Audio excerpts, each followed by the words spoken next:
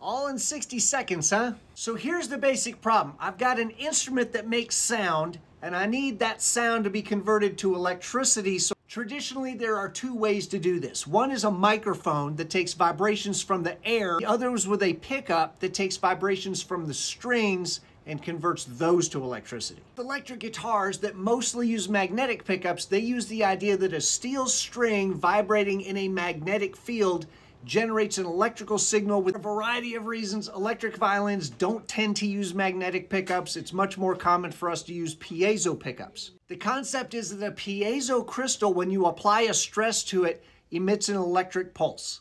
And if you embed that crystal into the bridge or the body or the sound post of a violin, the vibrations caused by the strings will stress that crystal and cause it to make an electrical signal. Every electric violin manufacturer implements that principle in a different way, but that's